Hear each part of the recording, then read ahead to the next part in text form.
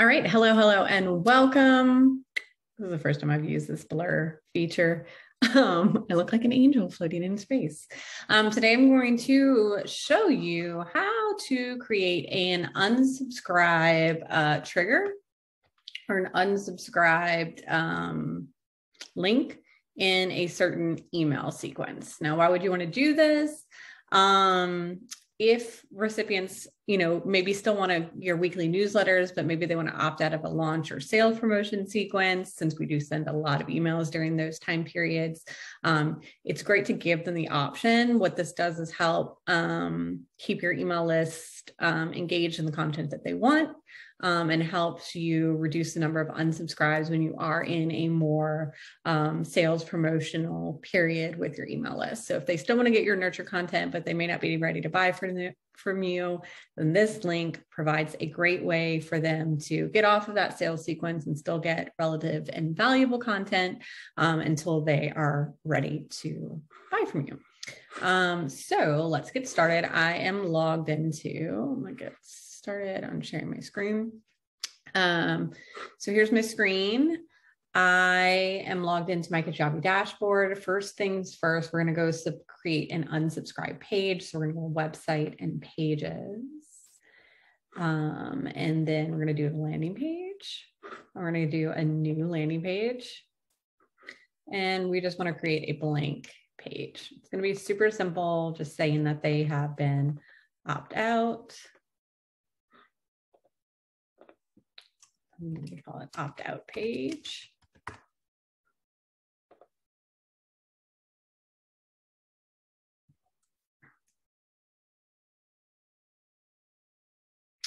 And we're enabling our power thrusters right now.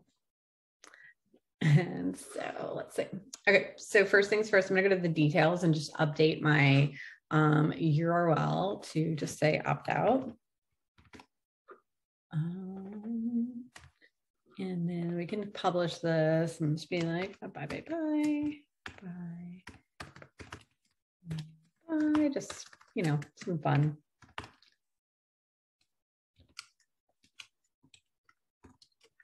Page, and then we don't want this to show up on search results. So We're gonna go ahead and hit save. So then once our landing page is updated, we're going to customize it to our liking. So right now we've got a hero with an image and I'm actually just going to, um, I know I'm going to want to embed a video because I have like a cute little GIF that I want to use. Um, and then we also add some text underneath as well. So I've outlined all my text before.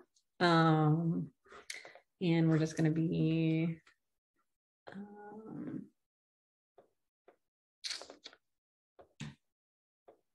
change really quickly.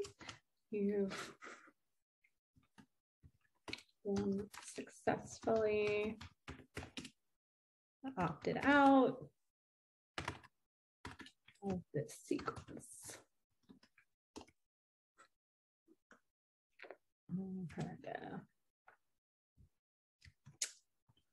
I've got a cute little like NSYNC. I'm an, an 80s baby, so bye bye bye. And that would be like a wave emoji.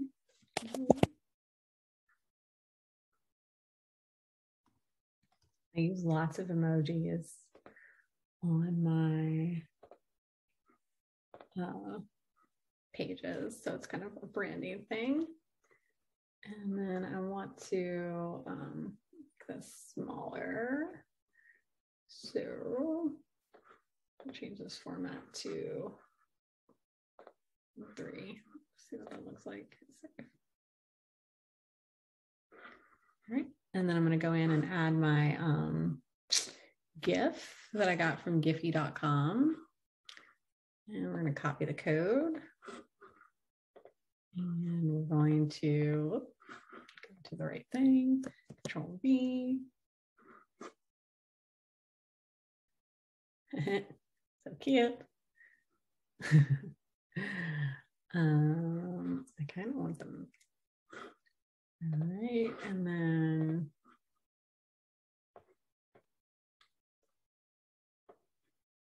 um, if you opted out of this sequence in error,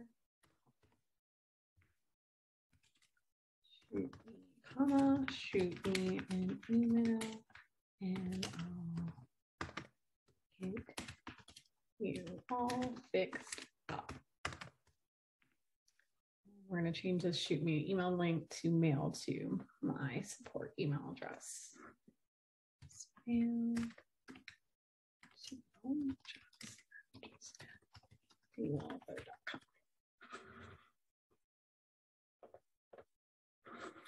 I want this to be right there and I want it to be uh, centered. So we're going to change the alignments to center, center, save. All right, so let's uh, preview this. I'm also gonna change the background to my brand colors.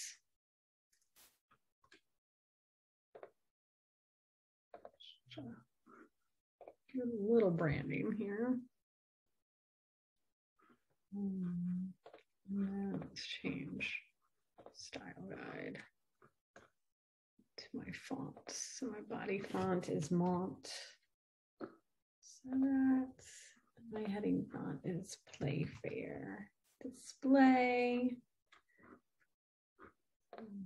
Save.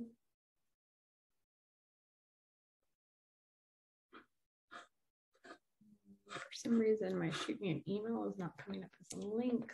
So check that. Uh oh. Uh oh.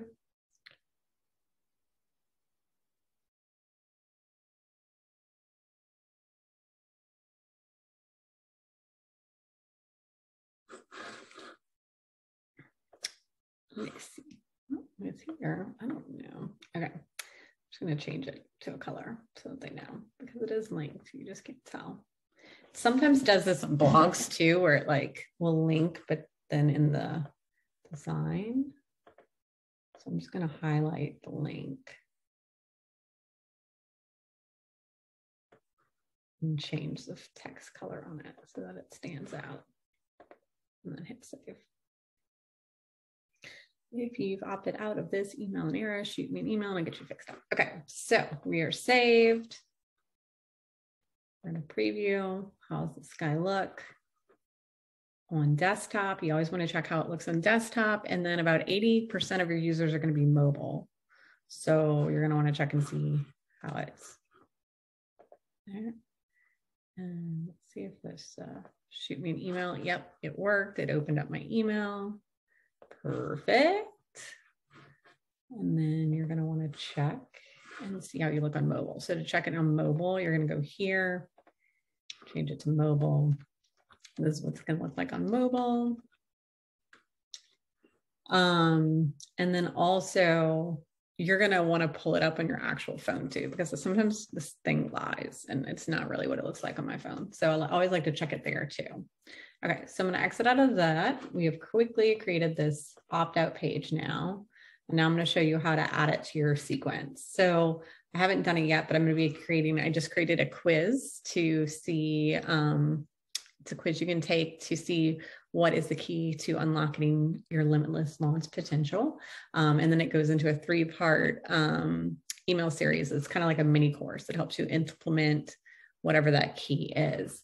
Um, but I want to give people an option if they want to skip the whole intro and just get onto my newsletter to do that. So I'm going to go create an email sequence for my first um, quiz result, which my sequence is going to be. Um, the first one is aligned strategy. Do intro um, mini course. And there we go. And I always do simple text, just helps you stay out of the spam box. The title for this email is going to be email number one.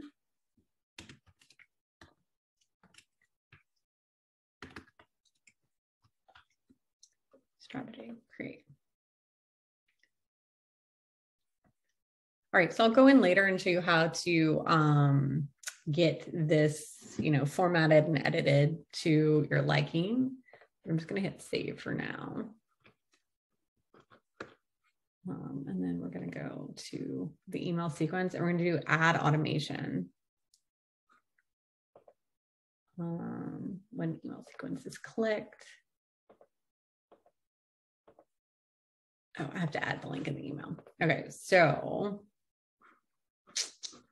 we're going to edit it really quickly, but I'm not going to edit the whole thing. Um, I'm going to put like opt out. So it is going to be um, like opt out. I'm going to have better text here, but I'm just doing this for purposes. And then we're going to link um, to it's going to be www.jessicadwalther um, slash opt out.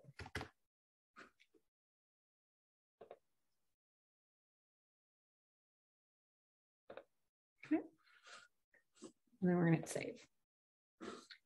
All right. So then what you would do is after you've got all this formatted, edited to what you need to do, you would go into each email and you're going to add an automation.